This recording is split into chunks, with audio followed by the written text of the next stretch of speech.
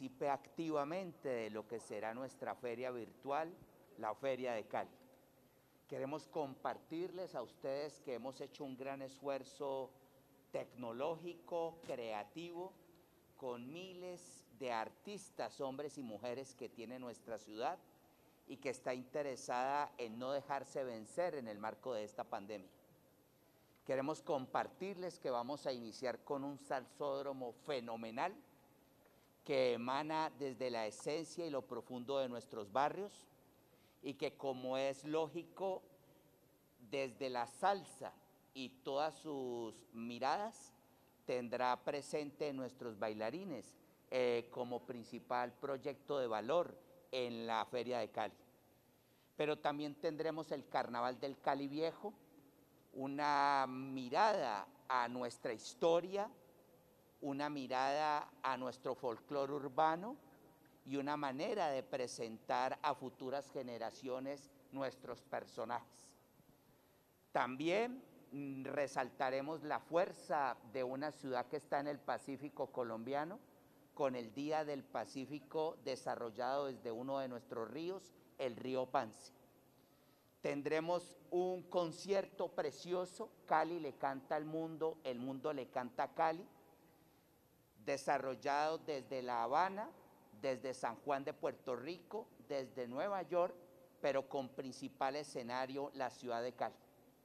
Y tendremos un concierto alternativo, más de las músicas urbanas, más desde otro tipo de propuesta que la ciudad tiene y que la ciudad tendrá y hará gala de las mismas. Este proyecto cultural ha sido un proyecto bioseguro, con estrictos protocolos desarrollados en la agenda, ha sido construido aquí, en nuestro Coliseo del Pueblo, y ha tenido la oportunidad de vincular lo presencial y lo virtual.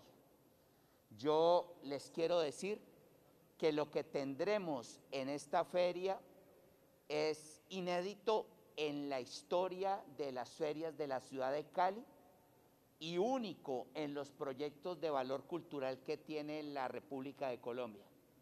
Y no tiene nada que envidiar a proyectos culturales que se hacen en otros espacios. También quiero señalar y agradecer a todos los que nos posibilitarán la transmisión de nuestra Feria de Cali, porque nuestra feria está pautada a través de redes sociales para ser vista en Puerto Rico, en Madrid, en Nueva York, en Santiago de Chile, en Buenos Aires. Estará también a través de toda la televisión regional y la televisión nacional por Señal Colombia.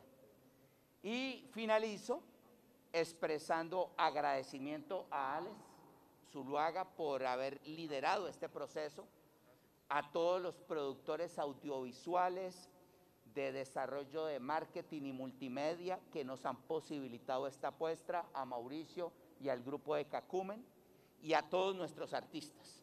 Quiero agradecer al Mulato, quiero agradecer a Yuri, a Jacobo, a, a nuestro amigo Homero, a todos los que han colocado amor y afecto.